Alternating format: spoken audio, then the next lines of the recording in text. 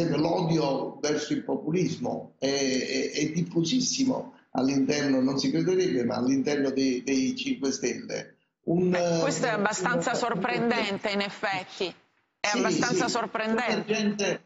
Un, un, emergente amore per esempio verso i sindacati, un ripudio totale del neoliberismo e così di seguito. Ora, queste rotture che ci sono dentro il, il movimento partito sono proprio un'ultima eh, scaramuccia tra quelli che sono diventati partito, lo sono già a tutti gli effetti, e quelli che non lo sono ancora e forse non lo diventeranno mai.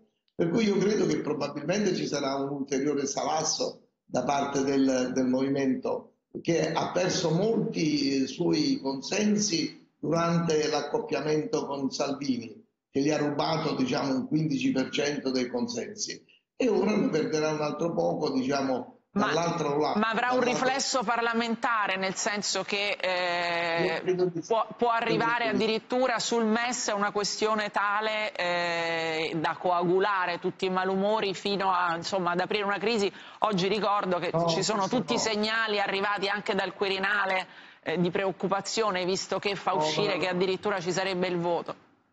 No, non credo proprio che sia alla crisi, anche perché quelli che escono è per un eccesso diciamo, di legame con uh, il movimento, non per una carenza di... Quelli se ne sono andati con Salvini, quelli che avrebbero fatto la crisi. Eh, Dario Di Vico, come